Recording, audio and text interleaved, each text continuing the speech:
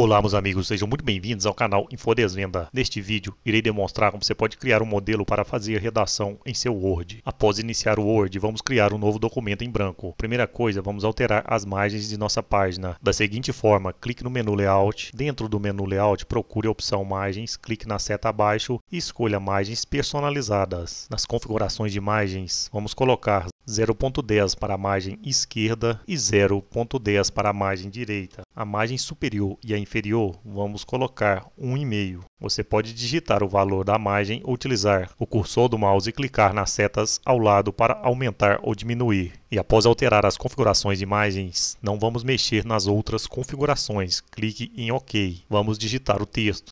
Para inserir a linha do título, pressione a tecla Shift em seu teclado, vá até a parte superior em seu teclado e procure pelo traço pequeno. Pressione e mantenha pressionado para inserir diversos underlines e criar uma linha de título.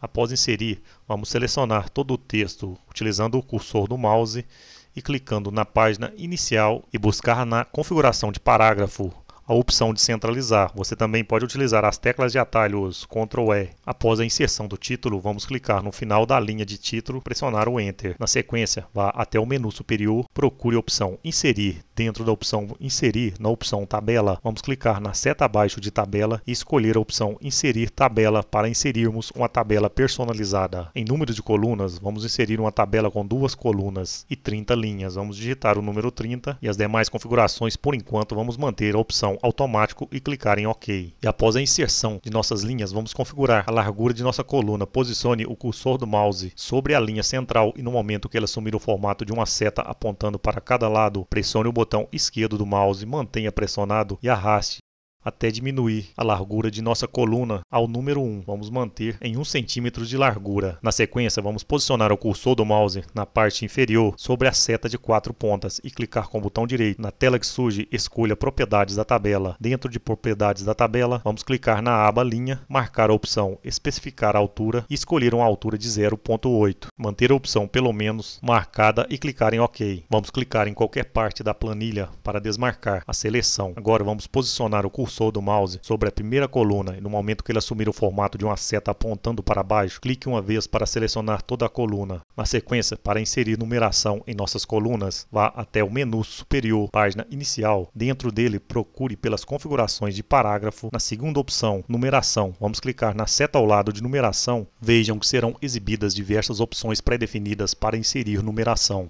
Nós vamos escolher a segunda opção, que é a numeração normal sem ponto em frente ao número.